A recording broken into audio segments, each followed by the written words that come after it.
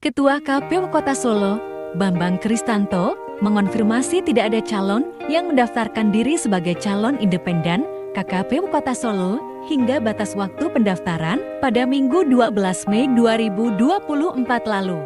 Karena itu, KPU Solo mengeluarkan surat keputusan SK nomor 173 bagi PLGEP 02.20 bagi 3372 Februari 2024 yang menyatakan tidak ada calon perseorangan yang mendaftar dalam Pilkada tahun 2024. Pilkada Solo tahun 2024 hanya akan diikuti oleh calon yang diusung partai politik atau gabungan partai politik yang memiliki kursi DDPRD Solo.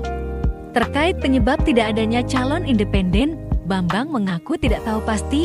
Selain itu, persyaratan untuk calon independen juga tidak mudah, di mana mereka harus mengumpulkan dukungan dengan menyerahkan KTP sebanyak 37.316 lembar atau setidaknya 8,5 persen dari jumlah daftar pemilih tetap DPT.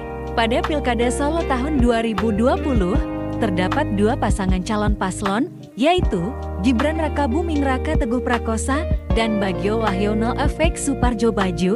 Gibran Teguh berhasil memenangi pilkada dengan suara sebanyak 225.451 atau 86,5 persen dari total suara.